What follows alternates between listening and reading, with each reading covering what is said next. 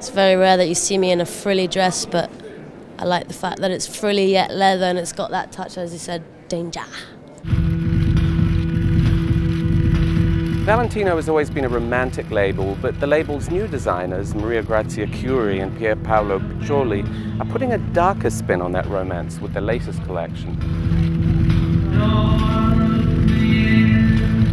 Theme of the collection is a fairy tale gone wrong. Fragile and delicate girl walking in an enchanted garden, but it's a little dark.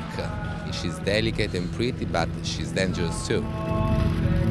I love the old, the new environment they, they reached to create on Valentino after so much red. They had the strength to, to take it off being still Valentino. It's a huge challenge, isn't it? Yeah, yeah, great uh, delivery.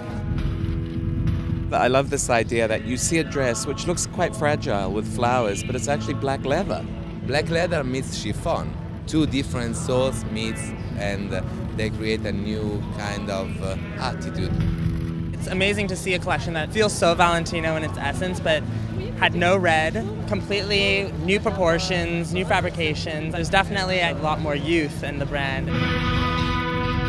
Ruffles meets leather meets chiffon, so this new aesthetic made of different things together. Things that shouldn't go Yeah. together. Yeah.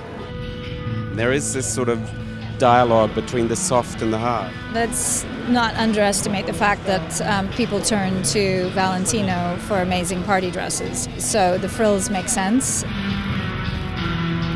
The shoes uh, we have uh, collaborated with Philip Treacy because we like also work with other artists.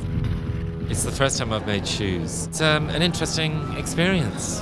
Are you surprised at how adept you are at making shoes? I'm just surprised they asked, and I'm surprised uh, how interesting it was. The collection was beautiful, but the shoes just like literally took my breath away. I get the impression it's almost like a movie, like the Garden of the Finzi Continis or something. There's a sort of moonlight dream in these clothes. A collection is uh, like a film for us. When we start, it's uh, like a trip. And one day you'll make a film. I don't know.